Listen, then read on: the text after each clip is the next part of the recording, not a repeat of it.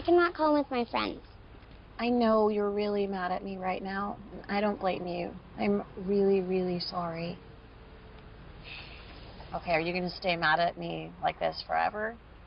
Because you're going to be a teenager soon, and then you'll be mad at everything, and I'll have no chance. That depends on how many times you're going to lie to me. Hey, Anna. All I wanted was to have you at my show. It was a really big deal to me. How's the tournament tonight? Amelia, get out of my room. Ooh, what's that? It's nothing. I got it out of a cereal box. No, you didn't. It looks like some kind of mystical amulet. As long as you hold on to the amulet, you should be fine. Okay, I'm gonna register us. Sweet. Let's go kick some sorcerer booty. Who's ready to get school? And you just think that sounds crazy, right? It just sounds crazy, doesn't it? Right? I asked Santa to make you tell the truth all the time, Aunt Holly. What? It's what I most wanted in the world. Have you be honest with me to keep your promises so I could spend more time with you.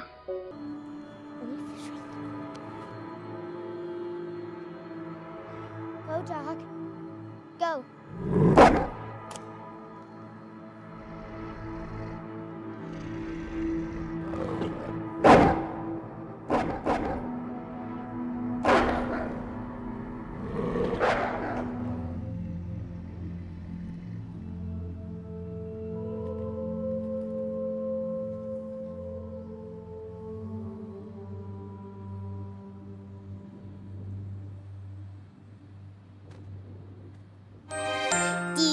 To build a snowman?